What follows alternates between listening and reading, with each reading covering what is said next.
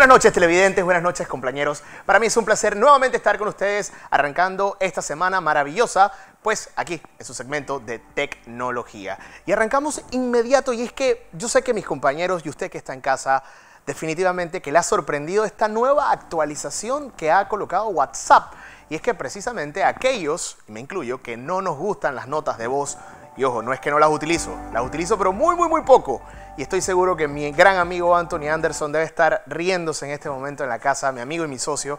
Y es que precisamente les cuento que en esta actualización de WhatsApp te permite adelantar o agregar más velocidad a esas notas de voz en 1.5 y hasta en dos, hasta dos veces más rápido puedes escuchar estas notas de voz. Definitivamente que mucha gente se ha sorprendido y si usted que está en casa en este momento todavía no ha contado con esta actualización en su dispositivo móvil, pues le voy a dar varias recomendaciones. En principio, para aquellos usuarios que son de la tecnología Apple, lo más recomendable es que actualice el software de su teléfono y luego en automático actualice el WhatsApp, la aplicación. Para, los, para aquellos que son Android, algunos teléfonos Android todavía no han recibido en bloque completo pues esta actualización. Sin embargo, eh, hay muchos eh, de ellos que próximamente, paulatinamente, pues van a irse creando estas actualizaciones.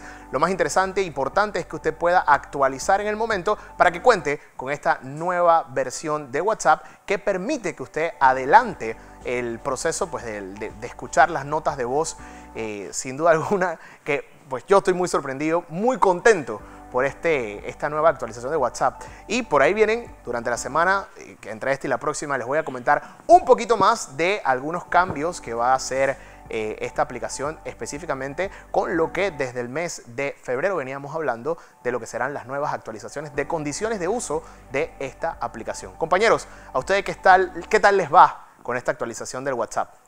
Yo muy poco soy de notas de voz, Madeline, usted sabe. Pero cuando se la envían, tener esa posibilidad de adelantarla, porque hay gente que. Oiga, una nota, de, voz, de dos minutos.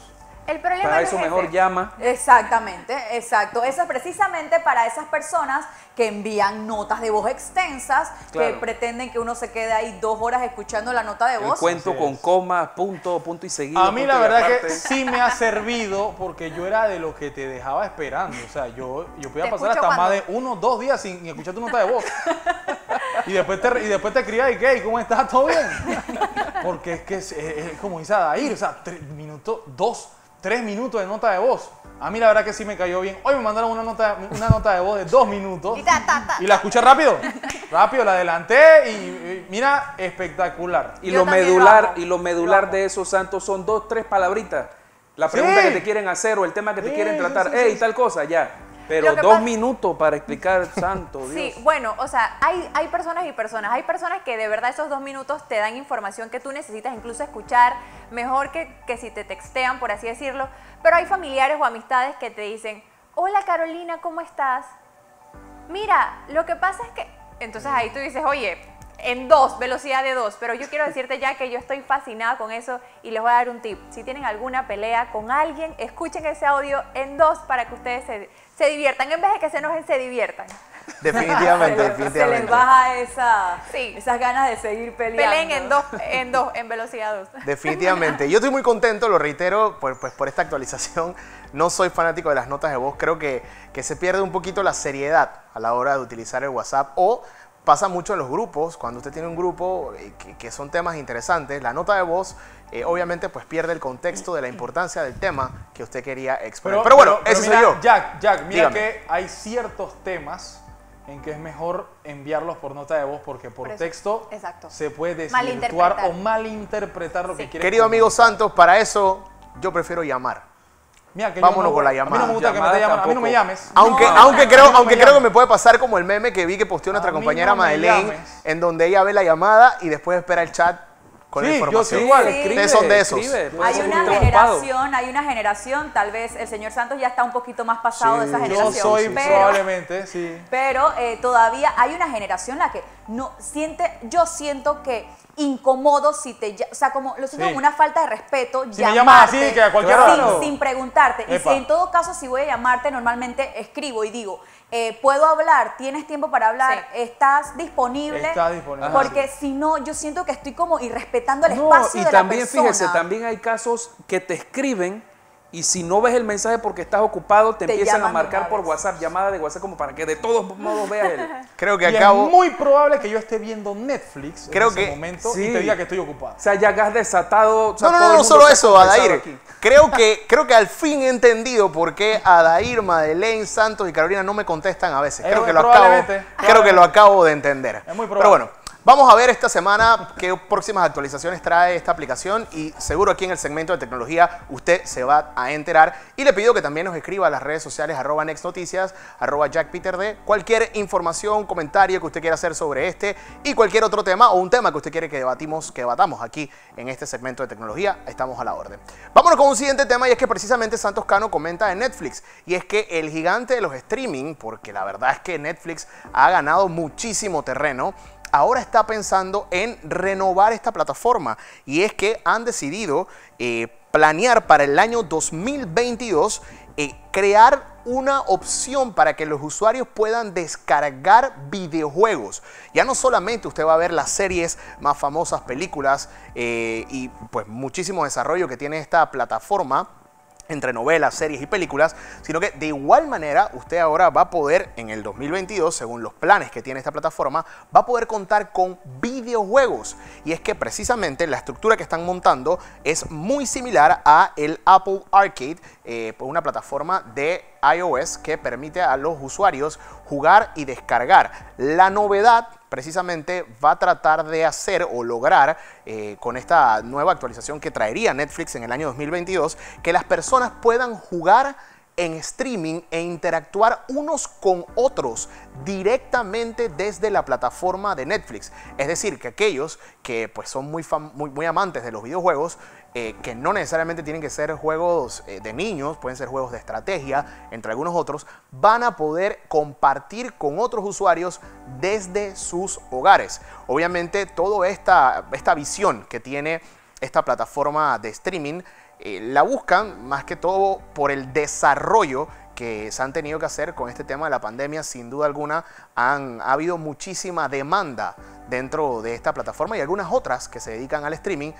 No podemos dejar a un lado recal- recalcar que Netflix sigue siendo el actual gigante y ha ganado muchísimo, muchísimo terreno, a pesar de que ya hay otras plataformas grandes con mucho capital y con mucho deseo de eh, agarrar un poquito de ese espacio o quizás sacarlos del mercado. Lo cierto es que se siguen actualizando y han revelado directivos de la empresa Netflix que muy pronto, pues para el 2022, eh, desean pues desarrollar esta plataforma de videojuegos para que se pueda hacer en streaming. ¿Qué les parece, compañeros? ¿Ustedes jugarían? Y esto es común, esta es la constante ahora, Jack, ¿no? Este tipo de videojuegos donde adolescentes, donde jóvenes, pues tienen esa oportunidad, oportunidad puedo decir, de Sí, claro. conversar, interactuar con otras personas. en vivo Total, ¿Te total. refieres al streaming? Sí, definitivamente.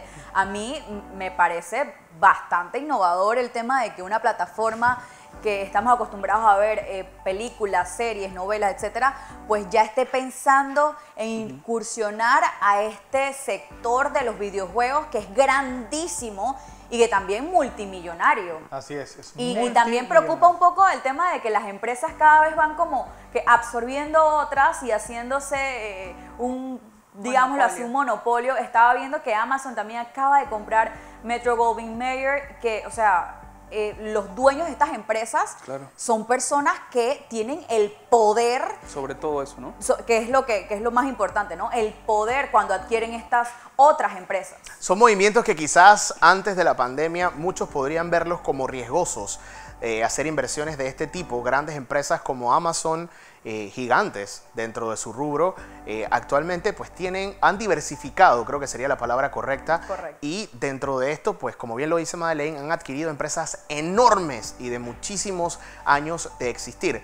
No podemos dejar a un lado de que la pandemia ha traído también estas, estas actualizaciones a la hora de la inversión y a la hora de diversificar y los frutos los estamos viendo no solo con Amazon, también con Disney, Fox y el propio Netflix, que pues la verdad que siguen creciendo en este mercado. Y todo esto, reitero, tiene que ver mucho con la pandemia y la cantidad de horas que las personas, pues por alguno, algún motivo de confinamiento, pues en distintos países y los controles que hay, eh, pues han tenido que estar en casa. Es una, y una ganancia redonda, una inversión segura ya, ¿no? Total. Sobre todo por la cantidad de gente que tiene estas plataformas y te decía, tantos jóvenes, tantos adolescentes que pues hoy tienen estos videojuegos y esa interacción también, pues porque están en la casa, no están yendo a la escuela quizá.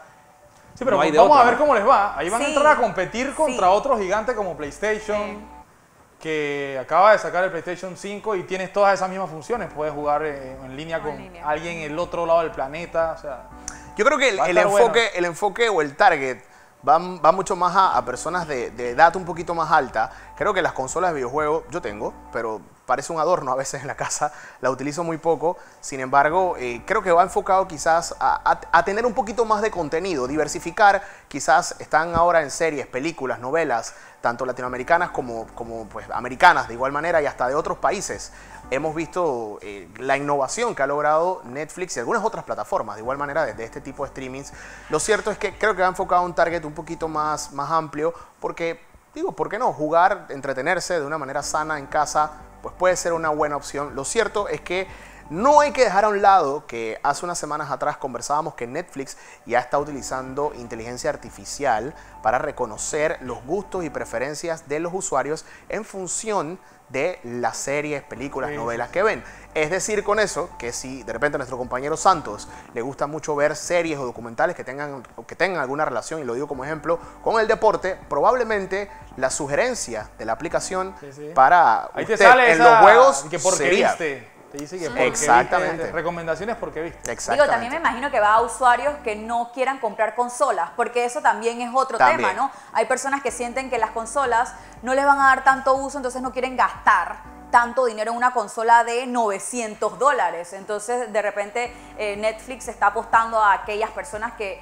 con el televisor puedan... Su combo, su 2x1. Exactamente. Así es. Pero bueno, en otros temas, compañeros, vámonos a algo que hace un par de meses atrás hablábamos aquí de las aplicaciones de citas y precisamente todo el auge que también han tenido estas aplicaciones de citas en la pandemia o durante la pandemia donde personas se han podido conocer. Lo cierto es que en Estados Unidos estas aplicaciones eh, definitivamente ya recibieron una actualización.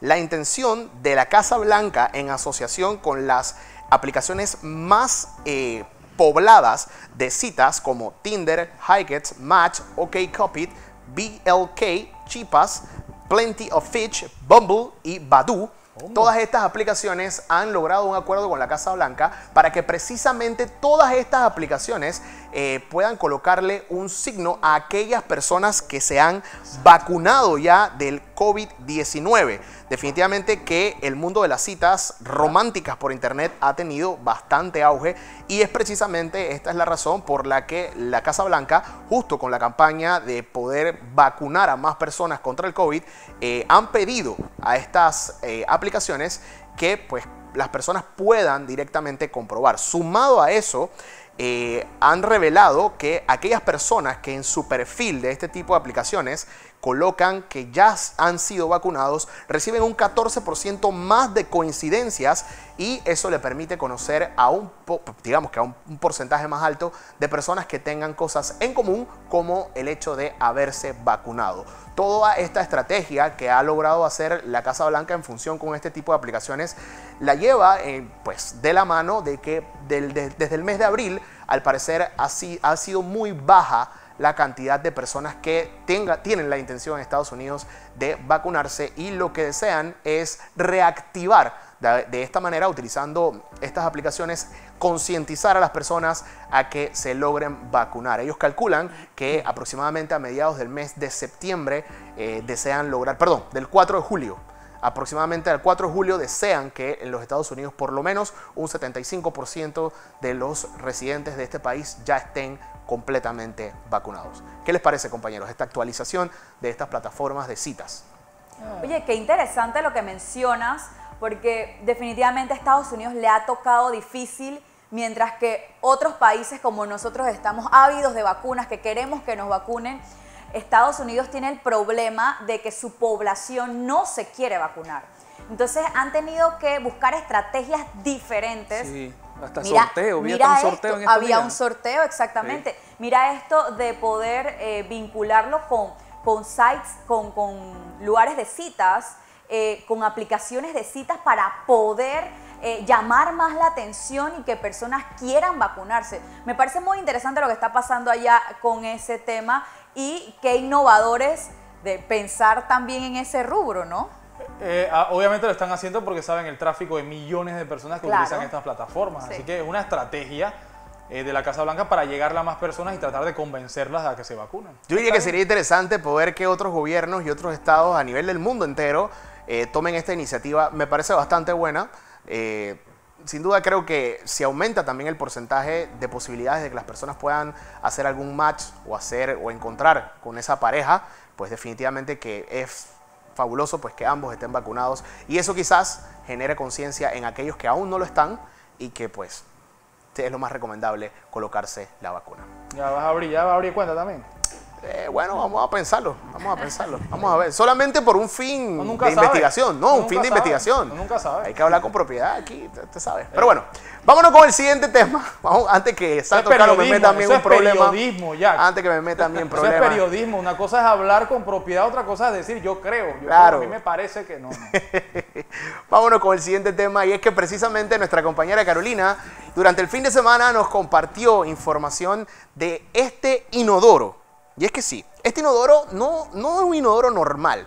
Este inodoro cuenta con inteligencia artificial que precisamente permite que médicos eh, gastroenterólogos tengan la capacidad de analizar las heces eh, que nosotros los humanos pues dejamos y es que colocando un dispositivo creado por la Universidad de Duke en Estados Unidos han desarrollado esta esta, plataforma y han podido, eh, justamente viendo las heces y si lleva contenido sanguíneo, la misma, pueden determinar si esta persona tiene algún padecimiento muy específico y a tiempo pueda ser tratado y diagnosticado.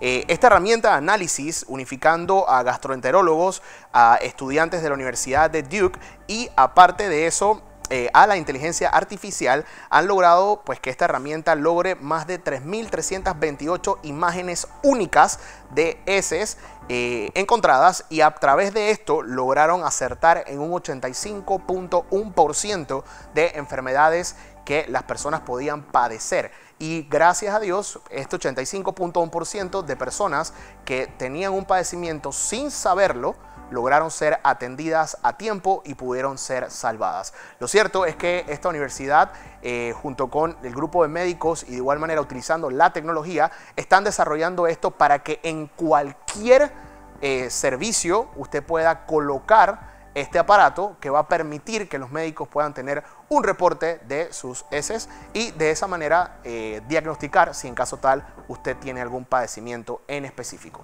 ¿Qué les parece compañeros? increíble. O sea, yo creo que voy por eso y por el cepillo de diente, Jack. me encantó. No, la verdad es que me parece muy bueno. Hay muchas personas que siempre están como reacias a ir al doctor, a visitar, eh, e incluso piensan que porque no tienen ningún síntoma, todo, todo, está bien con ellos. Y realmente lo que no saben es que todo, todo el inicio de, las enfermedades se concentra en el estómago, en las heces. Ahí es donde se originan las enfermedades. Así que me parece súper interesante esto y yo creo que yo lo compraría. Sí, definitivamente. Eh, ojalá llegue pronto, pronto a Panamá. Ya en Estados Unidos lo están utilizando. Eh, y no hay que dudar, no hay que dudar. Como bien lo dice Carolina, a veces nosotros estamos sufriendo de algo, tenemos algún padecimiento. Y precisamente estos muchachos de esta universidad, junto con este grupo de médicos, gastroenterólogos, utilizando la tecnología, pueden lograr determinar. Y, me causa mucho, mucho interés cuando me compartiste, eh, Carolina, esta nota y es que precisamente me estoy viendo una serie que se llama, que se la recomiendo aquí a los, a los compañeros y también a los televidentes, se llama The Good Doctor. Está buenísima, me la habían recomendado hace rato, no la había empezado a ver. Y ves cuántos diagnósticos son capaces, obviamente esto es una serie, pero definitivamente utilizando esta tecnología puede que estos médicos estos estudiantes y este aparato pues logre salvar muchas vidas. Y eso es lo más interesante. Claro, lo importante también siempre tener un doctor de cabecera, visitarlo de forma recurrente para poder estar anuentes a todos los cambios que pueda tener nuestro cuerpo y prevenir si es posible. Eso es lo complicado, ¿no? Siempre vamos al médico cuando ya estamos La salud la vemos de forma en la que cuando estamos enfermos es. que visitamos los doctores y que pagamos las cuentas. Jack, muchas gracias por siempre mantenernos actualizados en todo lo que tiene que ver con tecnología.